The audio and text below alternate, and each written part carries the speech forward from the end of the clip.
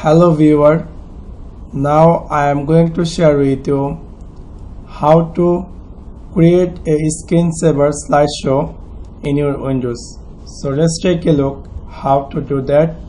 Right click anywhere in your desktop and then in downside you will see a personalize simply click over there and your skin will appear. In right side corner you will see a screensaver simply click that and then here is screensaver choose you want to choose your photo. So simply click on photos.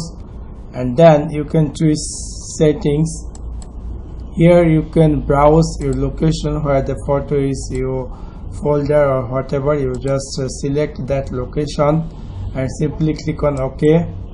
And here you can slideshow speed. You can make it medium slow or fast. Whatever you want you choose that and simply click on save. Also you can set a time after how many minutes the screensaver will start.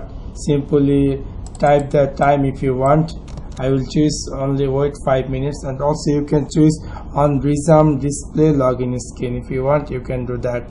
Simply check that if you want. And then simply click on apply and click on ok so that's it. Thanks for watching my video. Like and subscribe